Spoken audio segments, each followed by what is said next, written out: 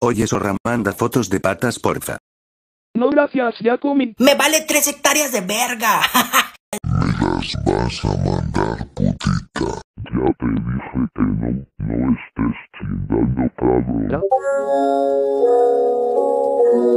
No chúpala. Estoy entrando a tu casa, perra. Al pues pensándolo bien mejor sí, pero te cobro 600 mil bolívares. Acepto.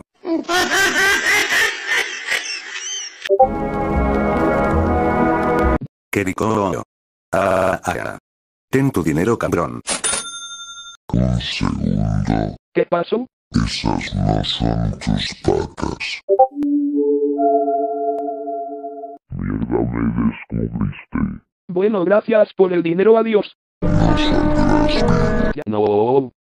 Aquí está tu hermana. Sigues tu imbécil de mierda.